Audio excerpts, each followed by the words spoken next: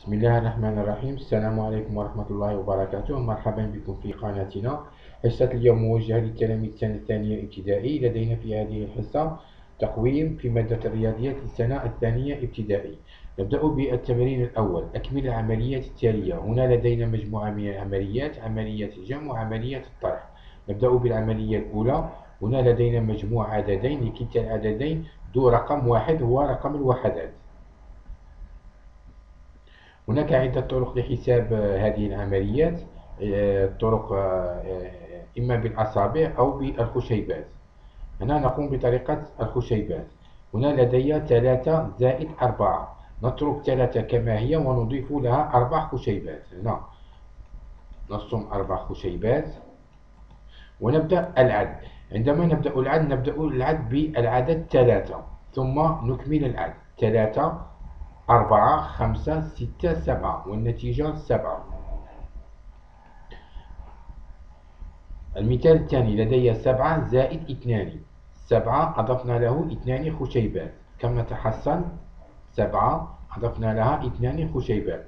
نبدأ بالعد بالعدد سبعة. نترك سبعة كما هي ثم نضيف لها اثنان خشيبات. عندما نبدأ العد نبدأ العد بسبعة ثم نتمم العد. سبعة ثمانية تسعة والنتيجة تسعة. هنا لدينا عملية الطرح. عشرة ناقص صفر. أي عدد نطرح منه هو الصفر فهو تلك العدد. أي عشرة ناقص صفر تساوي عشرة.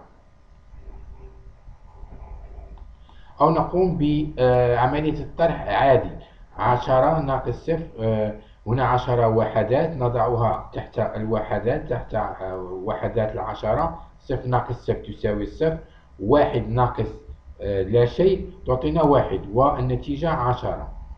هنا لدي أربعة ناقص واحد. هنا في هذه العملية كيف أجد الحل؟ هنا أربعة أمثلها بالخشيبات. أربعة. أمثلها بالخشيبات. ناقص واحد. أي طرحنا من الأربعة واحد. أي طرحنا من أربع خشيبات واحد. أي نقصنا واحد. ماذا ماذا أفعل هنا؟ أمثل الخشيبة الذي حذفتها بحيز. أضعها في حيز. الخشيبة الذي حذفتها أضعها في حيز. وأحسب ما تبقى لي من الخشيبات. واحد اثنان ثلاثة. في الأول كان لدي أربع خشيبات. حذفت الواحد مثلته هنا في حيز وعندما أعد أعد ما تبقى لي من الخشيبات. أي الخشيبات التي هم؟ خارج الحيز واحد اثنان ثلاثة. أكتب ثلاثة النتيجة. وهذه هي طريقة لحساب مجموع وطرح عددين. هي طريقة سهلة وبسيطة بالنسبة للتلاميذ السنة الثانية ابتدائي. التمرين الثاني أكمل الشريط العددي. هنا لدي شريط عددي به عدد آه، يبدأ بالصفر. المطلوب مني ما هو العدد الذي يأتي بعد الصفر؟ إلى غاية 8 وما هو العدد الذي يأتي بعد 8 إلى إلى غاية نهاية الشريط؟ هنا نعلم أن الشريط العددي به أعداد. وكل عدد الذي يليه نضيف له الواحد. كل العدد الذي يليه في الشريط العددي نضيف له الواحد. مثلا هنا عندنا صفر عندما ننتقل إلى الخانة الموالية نضيف الواحد أي صفر واحد. وهنا عندما ننتقل إلى الخانة الموالية نضيف الواحد إلى الواحد أي واحد زائد واحد اثنان.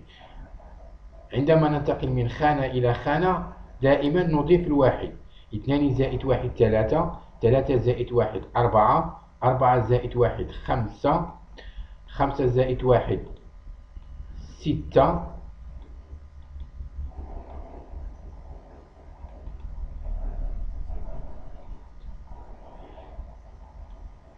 ثمانية زائد واحد تسعة. تسعة زائد واحد عشرة.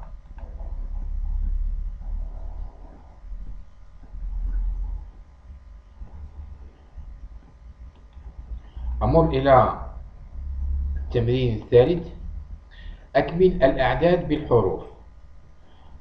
هنا لدي مجموعة من الأعداد مكتوبة بالأرقام ما على التلميذ إلا أن يحولها بالحروف. هنا لدي خمسة رقم الوحدات أكتبها بالحروف. خمسة. لدي عشرة عشرة هو ذو رقمين وحدات وعشرات. أكتب عشرة بالحروف. هنا لدي خمسة عشر عدد رقمين رقم وحدته خمسة وعشراته الواحد. هنا عندما أكتبه أحول هذا العدد خمسة عشر بالحروف فأبدأ القراءة من اليمين وأبدأ الكتابة بحرف الوحدات. أي خمسة ثم تليها العشرة. أي خمسة خمسة عشر. ثم يليه رقم العشرات. هنا لدي واحد عشرات يعني عشرة. والنتيجة خمسة عشر. هنا لدي الرقم عشرون أكتبه بالحروف عشرون. التمرين الرابع لون بالأحمر المثلث وبالأخضر المربع وبالأصفر الدائرة. هنا ما على التلميذ إلا أن يلون.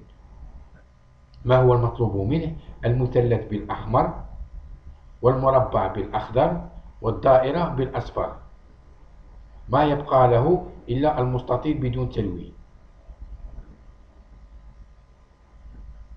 وهكذا ليفرق التلميذ ما بين الأشكال المثلث والمربع والدائرة والمستطيل. التمرين الرابع هنا لدي الوضعية الإدماجية تملك مريم عشر كريات زادتها أختها أربع كريات. كم أصبحت تملك مريم؟ السؤال هنا. كم أصبحت تملك مريم؟ أي ماذا يعني؟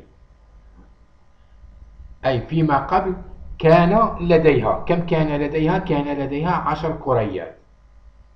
ثم عندما زادت لها أختها أربعة, أربعة كريات كم أصبحت عندها؟ أي هنا لدينا عملية الجمع. عندما نلاحظ أن الكلمة زادتها أي أضافت لها وهنا لدينا عملية الجمع.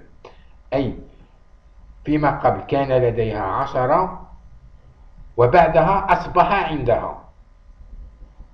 عندما أصبح عندها هنا نستعمل عملية الجمع أي زادتها أختها وعندما زادت أختها أصبح عندها كم أصبح عندها؟ هو مجموع كل الكريات عشرة زائد أربعة. وهنا في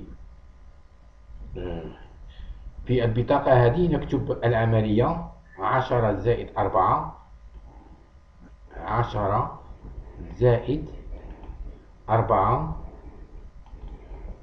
تساوي نقوم بالعملية بعملية الجمع عموديا. الوحدات تحت الوحدات والعشرات تحت العشرات.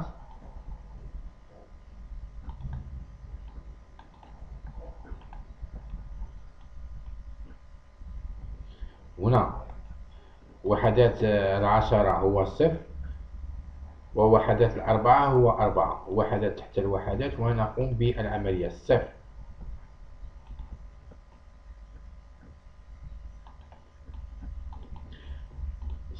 صفر زائد أربعة تساوي أربعة.